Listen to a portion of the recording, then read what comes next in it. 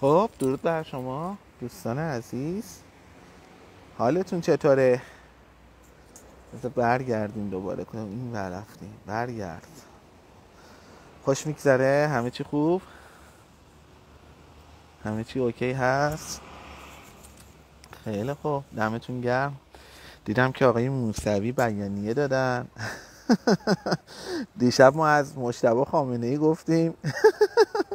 میر حسین موسوی بیانیه داده که آقا حواستون باشه موروسی بودن نشه رهبری و اینا. حالا کار داریم.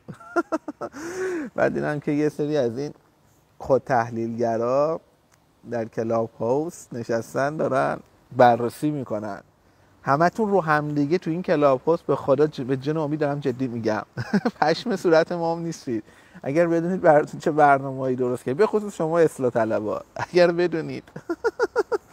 بگذاریم ما فعلا از اینجا ما که بی سر صدا در یک گوشه در جزایر قناری اینجا نشستیم. بازیمون رو می‌کنیم نون و ماستمون رو می‌خوریم. یه چیزی میندازیم وسط یه دفعه اینا به هم میریزن. میر حسینشون میره بیانیه میده. بگذاریم خیلی خوب کوچیکتونم. بذاری چند تا من دوستان 20 دقیقه بیشتر فرصت ندارم چون می‌خوایم بازی کنیم. این دوست ما که. همین من همیشه بیشتر همیشه تلاش می‌کنم زودتر مثلا می‌خوام یه جایی مثلا اینجا بشینیم می‌خواد بازی کنیم زودتر بیام. به حال هم پارک بکنم جا پارک اینجا بده همین که داستانه خوشو داره. خیلی خب من دو تا دوستان رو میارم کوتاه صحبت کنیم. چون وقت نداریم 20 دقیقه بیشتر فرصت نیست. بتونیم حداقل سه نفر رو بیاریم. آقای کسی هم نمی‌خواد بیاد بالا بگه. آقای البرز البرز موزیک. بفرما بالا عزیزم. درود بر شما. البرز موزیک درود بر شما. عزیز من صدایی از شما ندارم. الان صداتون داره میاد. درود بر شما. بفرمایید. صداتون آره میاد شما سلامت برم. زنده باشید. دم شما گرم. همین الان اتفاقا داشتم چیز می‌کردم. به به. برنامه فرخ زادمو می‌دیدید.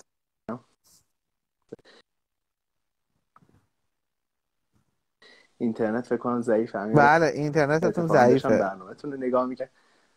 پخش زن دیگه من اون- گفتم که بیام. آره چون چیز بود این مدت یه ذره شبکه ها و اینا که من ای بابا توی برنامه و اینا عزیز عزیز متاسفانه قطع وصل میشی. متاسفانه قطع وصل میشی. من شرمندم. آقای اشکان بفرما بالا عزیزم. آقای اشکان. آقای اشکان یک آقای اشکان دو آقای اشکان سه. آقای اشکان نمیایید بالا.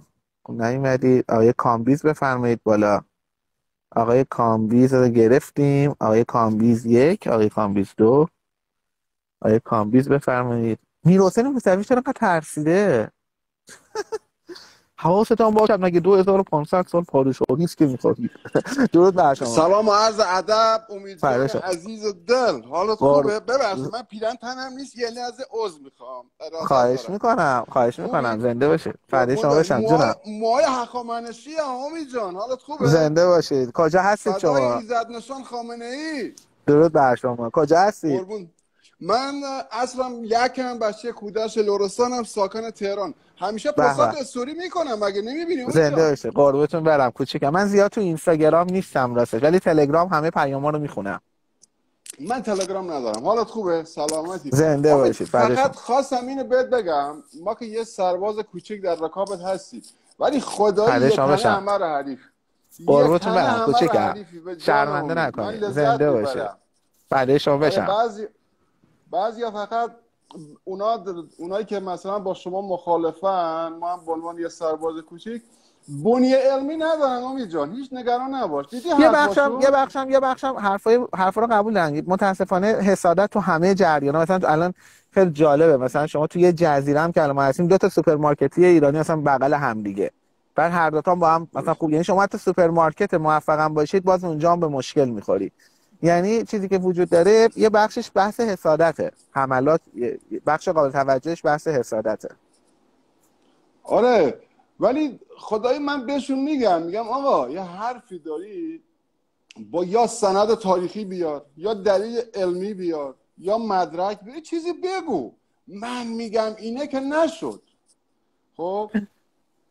ببین اصلا یه سری چیزا دیگه نه نیاز به کتاب خوندن داره نه به تاریخ داره نه اصلا ببین یه سری چیزا داریم می‌بینیم دیگه. الان شما تو غزه این همه بچه کشته شدن. خیلی قشنگ تحلیلگرا من دیدم که تازه دارن دفاع می‌کنن از اسرائیل. ولی همزمان در اتفاق جنگ سوریه روسیه و اوکراین یه دفعه اونجا مثلا دقیقا میان و استاندارد دوگانه. یعنی خیلی مسائل دیگه نیاز به خوندن و دیگه خیلی چیزا نیاز به مثلا اینکه تاریخ بدونیم اینا نیست. خیلی مسائل علنیه. منتها خب اینا که تو جبهه مخالفن دیگه دل سیاه دیگه نمی‌خوان قبول کنن. آره مثلا من بهشون میگم میگم آقایون دوستان یکم مثلا شما مثلا من میگم آقا من داعش با اون همه کسافت و لجن و عقب ماندگیش خب اگه تجاوز کرد تو خفا کرد. ولی تو همین اوکراین تو خیابون به روسوارا تجاوز کردن. دیگه دیدیم همه. آقا چرا بله. نمی‌بینن؟ من نمی‌دونم من نمی‌دونم این قدرت رسانه غرب چه کار کرده من موندم. خب 100 سال رو ایرانیا. کار 100 سال رو ایرانیا کار کرده. از اون مکملش اونایی هستن که خب بالاخره توی نظام هم می‌دونی یه رفتارهای دهه 60 انجام شده. همین الان بخش تندی از این نیروهای مذهبی هم هستن. اینا مکمل اونا میشن. مردم چیز میشن دیگه. تو همون گاگیسم سیاسی باقی میمونن. ولی به هر حال دیگه الان شبکه اجتماعی خیلی داره کمک می‌کنه. به نظر من خیلی حقایق راحت میشه فهمید. بله میشه ولی متاسفانه بچه های خط خودمون یکم فعالیتشون ضعیفه. من بهشون گفتم. من یه شب به چند تا آخون توپیدم. گفتم بابا نشستیم تو حوزه فقط ال ذهب از ذهب رو صرف می‌کنین یا مفت نون این نظام رو نخورین یا حداقل نون می‌خورین به یکم زحمت بکشین. تو حوزه نشستین ذهب از ذهب و فعل فعل. چه کار می‌کنین ولی انصافا قبول کرد. قبول کرد. خب؟ نه تو حوزه تو حوزه جذب و تو حوزه شما الان یه بخشی که از اینا هستن مددهان مثلا اینا مثلا یا فهمیدن که یه مقدار باید این مددایی رو مثلا چیکار کنن؟ حالت جوون پسندش کنن. اونجوری که توپ توپ می‌زنه حسین حسین و اینا می‌زنن. این به خاطر که جوونا رو جذب کنن. همون بخش سنتی اتفاقا حوزه حمله می‌کنن به این مددها که آقا چرا توپ توپ میگه آقا باید ریتم بده دیگه. باید ریتم بده جوون مثلا خوشش بیا شور بده. می‌دونی؟ بحث اینه که نمی‌فهمن با زمان چجوری باید مسائل رو چیز کنن هماهنگ کنن. این اه، ب- آره. شما بخشی از مدعا که تازه امسال فهمیدن. دو سه ساله ولی امسال بیشتر اومدن نوهای سیاسی خوندن در دفاع از صحبت های آقای خامنه ای و اینا. دیدید که بی بی سی و سعودی نشنال و اینا چقدر به هم ریختن. اتفاقا اینا تو لندن نشستن میگن نه مداحی رو خراب نکنید فقط برای امام حسین بخونید. یه فکر کن تو لندن اینا نگران مداحی شدن. ببین اینا چیزایی آره. که بذاریم کنار هم دیگه خیلی مسائل به نظر من روشنه. همه چی روشنه. منتها خب دیگه یه مقدار آدم باید عمیق نگاه کنه. مثلا شما- این همه. این همه به شما حمله می‌کنن. خدا شاهده من شبا live دارم اینقدر بهم توهین میشه. مثلا این بله. جماعت نمی‌بینن. مثلا میگن رهبر ایران سنش بالا بابا رهبر ایران دماوند یه نفس میره بالا. رئیس جمهور آمریکا نمی‌تونه کت و تنش کنه. نمی‌تونه یه پله رو بره بالا اما آمریکایی چی نمیگن وجدانی باید بگی نه ما اصلا خیلی انقدر. از این مقایسه ها زیاده انقدر مقایسه میشه که میگم انقدر مسائل روشن نمیشه مقایسه کرد که اصلا طرف مقابل ببین جبهه مخالفین هیچ استدلالی ندارن فقط تو جنگ روانی هن. صرفا دارن جنگ. روانی می‌کنن جنگ روانی دیگه یه جایی مثلا بالاخره شما باید یه حرفی رو بزنی جنگ روانی چاشنیش باشه. اینا کلا اصلشون جنگ روانیه.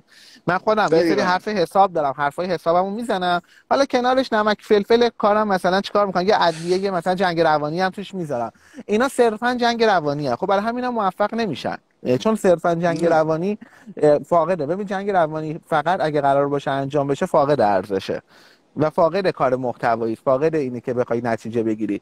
شما باید یه استدلالی داشته باشه یه ایدئولوژی داشته باشه جنگ روانی کنارش مثلا کمکت کنه. ولی وقتی که مثل این میمونه چلو کباب می‌خواید برید بخورید ولی کباب و کوبیده و برنج نداره. فقط می‌خواید سالاد خورد دیگه چلو کباب نیست فقط سالادشو دارن می‌خورن. آره، این آره. داستانشون اینه. در هر حال آقا دمتون گرم اومدید بالا. فدات بشم امید جان فدای قربون شما. بشم. خیلی خوشحال شدم. همچنین، همچنین. همیشه, follow می‌کنم. کامل برنامه استوری می‌ذارم رصد می‌کنم. برای اگه نگاه. کنی استوری اومده برات. قربونت برم. کوچیکتون خیلی قربتون خوشحال برم. ممنون. فدای شما بشم. بد بده. ما دوستت داریم بیشتر همینجوری کار کن. ما هم پشت سرت هستیم.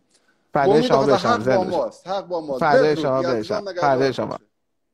قربانتون. خب بذار دوستان دیگر هم ما بیاریم بالا.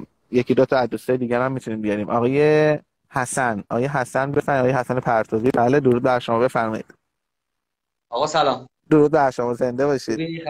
قربان شما. خوب هستید خوش میگذره. سلامت امید من یه بار بله اینستاگرام من اینستاگرام من شما بستید. آفرین. آره. بعد من اومدم. بعد که تموم شد دوستان من پیام دادم بابا یارو رو بدبخت کردی فلان. گفتم من از قصد نکردم ولی بدبخت نمیشیم. اینستاگرام و فیسبوک خودشون رو بدبخت می‌کنن. به شوخی می‌گفتن آره. درسته. آره. حالا من آره خیلی ناراحت شدم. گفتم او چه نه پرده سره پرده سر رسیده بود اون اینستاگرام هم رسیده بود به 70 هزار تا. من حتی هر سری 70 80 هزار تا میشم اینستاگرام چیز می‌کنه. به کوچکترین بهانه میبنده. ولی جالبش این بود که اون اشتباهی که شما کردید عکس سردار نشون دادید بعد که اینستاگرام من بسته شد ببین از تند مذهبی بگی تا براندازه دوزه همه می‌گفتن ما اینستاگرام امیدو بستیم. در بله، شما بستید. آره دیدم بعد عکس منم بعد عکس منو گذاشتید تو کاناله آخه همه بسته شدن آخه همه داشتن ادعا می‌کنن اینستاگرام منو بستن. در که شما بسته بودید. نه درسته متوجه شدم. بعد حالا من اون قضیه خیلی ناراحت شدم. بعد پیام دادم. حالا می‌دونم سرتم شلوغه. بعد خیلی هم چیز کردم. گفتم ای بابا حواستو جمع کن. ولی نه فرده سره فرده سره یه, یه یه نکته هم بهت بگم آقای امیدانو من اتفاقا چند پیش تو هیئت که بودیم بعد یه سری از بچه‌هایی که میان بحث سیاسی می‌کنن دور هم نشسته بودن داشتن صحبت می‌کردن. داشتم بحث که می‌کردن رسید به من. بعد طرف داشت با من بحث می‌کرد. منم الان دو ساله دارم سخنرانی شما رو گوش می‌کنم. بعد رایفی پورم گوش می‌کنم ببین دیگه مغز من پر از اطلاعات بود. انقدر به چیز میز می‌گفتم. عین این راننده تاکسی ها می‌گفت من تو این شرکت بودم. نمی‌دونم ما مستعمره روسیه این فلانیم اینا. بعد من هی می‌گفتم هی فکت نمی آورد خیلی. بعد یاد شما افتادم. گفتم دلم گفتم انقدر سخنرانی امیدوارا رو گوش کردم. من دیگه همه حرفا رو می‌دونم. واقعا هم حرفا با دلیله با منطقه. اون چیزی نیستش که علکی باشه. وقتی شما با منطق حرف بزنی طرف بعد دیدی که چیکار می‌کنم بخوام مسخره می‌کنه. به اینجوری اون تو مناسبات نمی‌دونم. شما الان شما می‌دونی اولا اینایی که مخالفت دارن می‌کنن تا ترکیه هم درست حسابی سفر نکردن. یه سری از مسائل جهانی اصلا مناسبات نمیدن الان شما بندر سالیانکای روسیه 70 درصدش اینا دسته ایران 56 درصدش بله. دست ایرانه. اصلا ایران رفته. همین الان ماهواره خیام و ما با ماهواره بر روسیه فرستادیم. خب الان مثلا یه اسکولیسم سیاسی اگه تو روسیه باشه میگن آقا روسیه مستعمره ایران دیگه. شما فکر همین اتفاق بندر سالیانکا که 56 درصدش دست ایرانه و آقای سردار باقری رفتن اونجا. بعد دیدید دیگه توی دانشکدهشون عکس آقای خامنه ای و خمینی بود که دانشجوهاشون بله. داشتن تحصیل می‌کرد خب شما همین اتفاق تو بندر انزلی بیفته. ما هم حالا به خاطر یه سری مناسبات یه بخشی 56 درصد مسائل اقتصادی مثلا بندر انزلی رو بدیم دست روسیه. پارمون می‌کنن. ولی همینایی که پاره می‌کنن سر بندر سالیانکا سکوت کردن. این بهش میگن سواد رسانه پروپاگاندای رسانه ای سر اونجا نمیگن 56 درصد دست ما ولی سر بندر انزلی اگر می‌شد تا الان قیامت شده بود. نه اینا که حرف ببین آخه حرفا بی منطقه من همیشه که صحبت می‌کنم میگم آقا من 5 دقیقه به تو وقت میدم. آخه طرف مثل راننده های تاکسی حالا جسارت نمی‌کنم راننده تاکسی. ها. حرف آقا من یه پسر خاله داشتم تو فلان شرکت. آقا پسر خاله من تو فلان شرکت. تو اگه یه مطلبی داری بزن تو اینترنت تو بیار بال من همیشه مثلا میگم میگم آقا مثلا یه حرفی هست. میگن آقا کشورهایی که توشون سرطان هست کشورهای همه پیشرفته است. دانمارک و نمی‌دونم کشور اروپایی همشون بیماری های سرطان دارن. چرا؟ به خاطر پرخوری و به خاطر اون چیزای غذایی. کمترین آمار سرطان تو دنیا مال یمنه. فقیرترین کشور عربی آمار کمترین آمار سرطان تو دنیا رو یمن داره. چرا؟ چون خب اون حجم غذایی اون وعده های غذایی اسلامی اینا هست. میگم بابا تو یه آمار بیا. طرف میگه مینه چی میگه؟ می‌گفت که الان جمهوری اسلامی باعث فقر و نمی‌دونم طلاق و ازدواج. میگم بابا طلاق توی بالا شهر بیشتر یا پایین شهر؟ بیشترین آمار طلاق توی شمال ایران و شمال تهرانه. کمترین آمار طلاق مال سیستان بلوچستان و خراسان جنوبیه که فقیرترین استانا هم هستن. یعنی آنچنان ربطی به دارایی و اینا نداره. آخه اگه اصلا اینجوری باشه که تو اروپا و توی غرب و اینا که اصلا کارشون به ازدواج نمی‌رسه که. اصلا چه اینجا آره. پسرا ببین شما این مردای ایرانی برای زن و در نهایت ارزش قائل هستن حاضرم دوست دخترشون رو بالاخره برن ازش خواستگاری کنن ازدواج کنن. غربیا اصلا دوست دختره رو ببین اصلا آدم حساب نمی‌کنن که تهش بخوان ازدواج کنن. مگه که مثلا یه چیزی هم میشه اونم تهش همون مسخره بازیه که انگشتر حلقه رو مثلا میشینن دلا میشن میدن که اونم من تا الان بعد از 13 سال زندگی در غرب ندیدم تا الان با چشم خودم. فقط تو همین اینستاگرام مثل شماها دیدم. یعنی به چشم خودم ندیدم. من تو کل این 13 سالی که 12 13 سالی که توی اروپا زندگی می‌کنم تنها سال پیش یه عروسی لب دریای خودمون اینجا توی جزایر قناری دیدم. اونم یه مورد دیدم. تازه اونم عروس داماد تنها بودن عکاس اومده بود ازشون. یعنی فکر کنم تو 13 سال فقط یه عروس داماد دیدم. یکی دو بارم چرا؟ یکی دو بارم اوایلش که سوئد بودم اونم دیدم. اونم تازه مهاجرین بودن. اونا مسلمون بودن. نه حرف حرف این حرفی که شما داری میگی درسته. واقعا توی ترکیه طرف نرفت. در ادعاش میشه. من یکی از دوستام توی راه کربلا با یه خانم آشنا شده. خانم نروژی بود. ببین دیگه این چه شانسی داشتی که حالا یکه. حالا شانسن اونا هم خیلی مذهبی هم تو نروژ زندگی. چند وقت پیش به من صحبت می‌کرد. اون غ... اصلا طرفدار جمهوری اسلامی نبوده. ولی الان میرم طرفداری می‌کنه.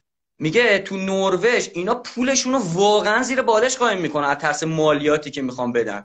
طرف میگه آقا تو یه میلیارد توی بانک می‌ذاری میگه 400 میلیونشو ازت مالیات میدم 300 میلیون خیلی درصدشو برمیداره بیشترم میگه بیشترم برمیداره اگه اگه مثلا یه میلیون باشه ببین شما تصاعدی میده بالا. شما حقوقت کم باشه مثلا 10 درصد 15 درصد 20 درصد مالیات هر چی حقوقت میره بالاتر یا تا 60 درصد 70 درصد هم باید مالیات بدید. بستگی داره که حقوقتون چقدره. من الان خود منو درنمو سرویس کردن اینجا.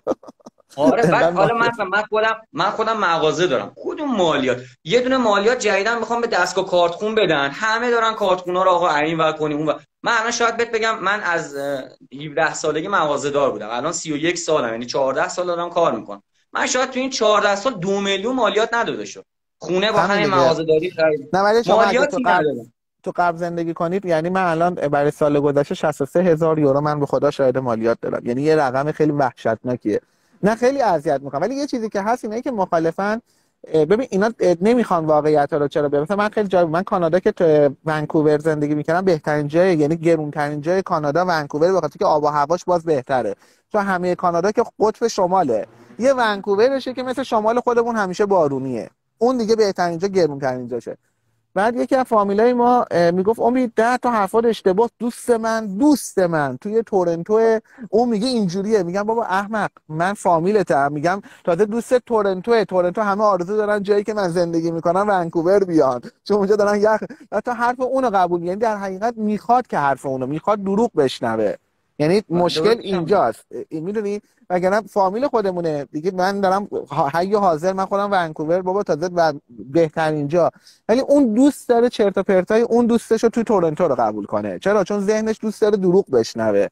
این مشکل اینجا هستش. ما, ما چون واقعا به قول خودت در نظر رسانه هم ضعیفیم من من میگم حرفایی که شما رو شنیدم میگم من فکتاتون درسته حرفاتون درسته. بعد اینا رو نمیگم به مردم. واقعا خیلی این چیزا رو نمی‌دونم. من کلا اسم نروژ رو که اووردم تو خانواده گفتم دوستم تو نروژ رفته ازدواج کرده. گفتم دمش کم گفتم بابا بدبخت میگه من یه بار رفتم اونجا داشتم یخ می‌زدم.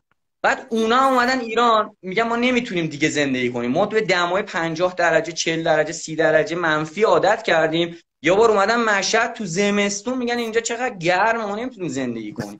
خب حالا در نروژ یه نکته که هستش مثلا نور... میگن بهترین کشورهای دنیا فنلاند و نروژ و سوئد و دانمارکن. اینا چیزایی که میگن از نظر نرخ مثلا رفاه میگن اینا بهترینن. حتی تو انتخابات های آمریکا بارها پیش اومده مثل انتخابات 2016 آقای ترام مثلا می‌گفت من می‌خوام سیستم رفاهی کشور ترام نگفت. یکی دیگه از اون جمهوری خواه بود که توی هنوز کاندیدایی بود که هنوز از جمهوری خواه معلوم نشده بود کدومشون میاد بالا. یا آقای سیاپوسی هم بود.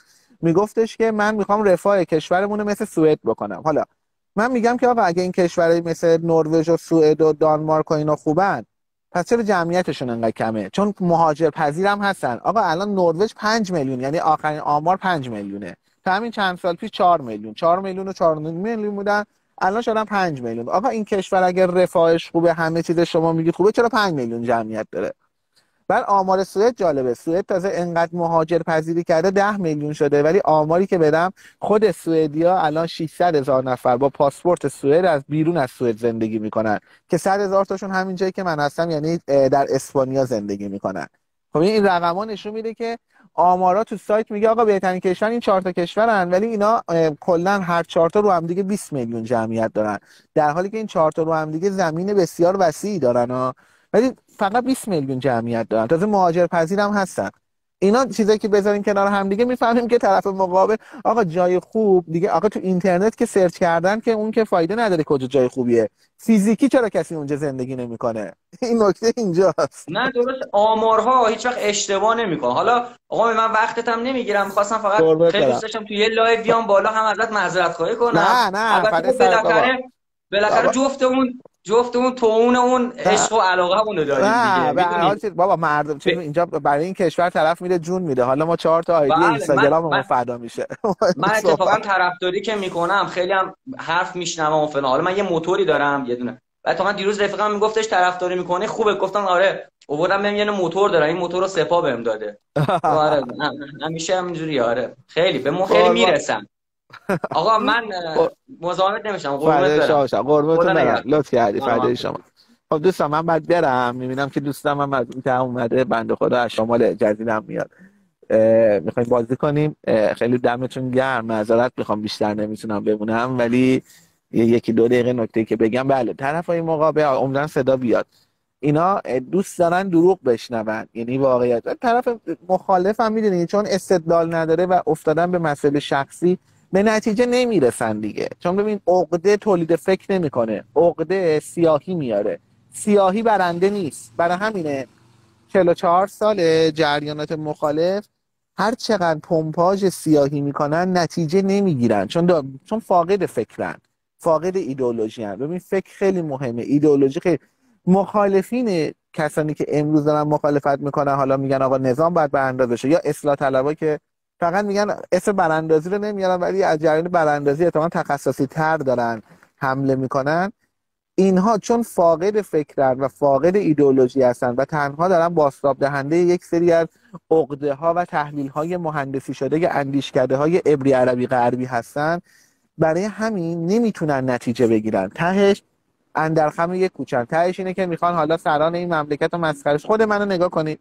من امید دانا با هزاران ایران نه هی 24 ساعت مس خب نتیجه نمیده. مسخره کردن و اینکه آقا امید دانا چرا این شکلیه چرا اون شکلیه چرا این حرفا می‌زنه این نتیجه نمیده. گوش ملت بدهکار نیست. یه زمانی تو همین فضای مجازی خیلی جمع می‌شدن مثلا شاخبازی در می آوردن با همدیگه دعوا می‌کردن به همدیگه میپریدن. خب آره جذابیت داشت. بعدش دیگه جواب نداد دیگه. بعدش دیگه حرفت چیه؟ صحبتت چیه؟ بعدش دیگه جواب نداد.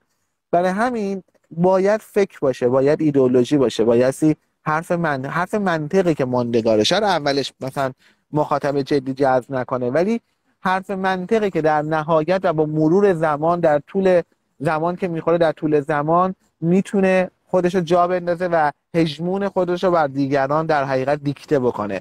این دلیلی است که همین نظام 44 ساله با همه ایراداتی که داشته با همه مشکلاتی که داشته که حتی رهبری همین مملکت یعنی پادشاه خامنه ای هم انکار نمی‌کنه خودش داره میگه میگه ما هزاران مشکل داریم. ولی چون در نهایت دارای ایدئولوژی است دارای یک سری جهان بینی هاست و دارای فعالیت منطقی در یک سری از حوزه ها فائق اومده بر تمام دشمنانش.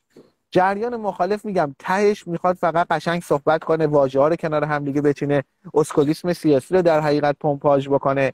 مسئله بی ربط رو به هم ربط بده مثل موشک و پوشک و من نمی‌دونم اینا چجوری تونستن به هم ربط بدن. دیگه موشک و پوشک من برنامه ساختم مثلا این جنگلای زاگرس مثلا یه سریش آتیش گرفته یارو بنر زده که آقا جان بدون موشک می‌تونیم زندگی کنیم بدون درخت بلوط نمی‌تونیم. خب اینا ربط دادن های می‌دونی مثلا یه خود ظاهرش قشنگم باشه یه ظاهر فریبنده داشته باشه ولی چون درونش محتوا نداره فاقد ارزشه و فاقد نتیجه گیری است دشمن برای همین نمی‌تونه نتیجه گیری کنه. من دلم هم برای خیلی از این عزیزانی که در جبهه های مخالف هم هستن میسوزه چون اینا اول و آخر دارن زندگی خودشون رو تلف می‌کنن. اول و آخر هم ولی که افتادن تو مزخرف گویی ولی که افتادن فقط تو یک سری چیزایی که فقط دل خودشون رو می‌خوان خوش کنن. می‌خوان چیزای روانی بگن که یه مقدار آروم بشن. ته کاراشون اگر بخوایم ارزش گذاری کنی فقط یک سری کلکل های قافیه داره مثل بچه های دوران ابتدایی که این می‌گفت خفه شو اون می‌گفت دست به یقه شو.